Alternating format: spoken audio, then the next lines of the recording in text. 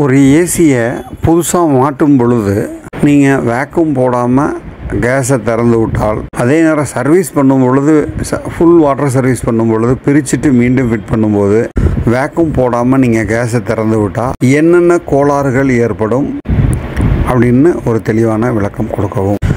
பழைய கேஸ் எல்லாமே அதாவது fluoro chloro carbon groups hydro fluoro carbon groups இந்த மாதிரியான கேஸ் எல்லாமே இரண்டு விதமான மேஜர் ப்ராப்ளத்தை உருவாக்குது அப்படிங்கிறத கண்டுபிடிச்சாங்க.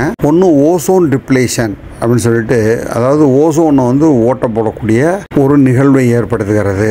ரெண்டாவது வந்து குளோபல் வார்மிங் பூமியில் இருக்கக்கூடிய இயல்பு வெப்பநிலை அதிகமாகுது. இது ரெண்டையுமே வந்து பழைய கேஸ் வந்து ஒரு ரெண்டாயிரம் ஜிடிபிக்கு மேலேயும் ஓசோனை ஓட்ட போகிறதுலையும் ரொம்ப அதிகமான பாதிப்புகளை ஏற்படுத்துதுன்னு கண்டுபிடிச்சாங்க.